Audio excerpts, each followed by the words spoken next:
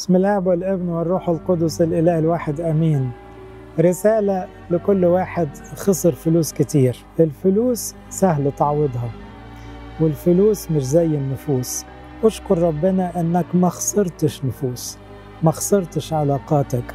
النفوس والعلاقات أغلى كتير قوي وهي اللي ممكن ترجع لك مش الفلوس. ترجع لك النجاح والسلام وبركة الأيام. الفلوس تطلع وتنزل تروح وتيجي لكن الفلوس ما بتجيبش للإنسان السعادة. لو خسرت فلوس ربنا يعوضك لكن خليك دايما حريص على مبادئك. ما تخسرش مبدأ ما تخسرش من أخلاقك حاجة. خليك سخي. يمكن كان عندك فلوس ما حطيتهاش في مكانها الصح. اتعلم الدرس. حط الفلوس منين ما تلاقي الناس محتاجة. هنا تنجح في أكبر استثمار لحياتك كلها.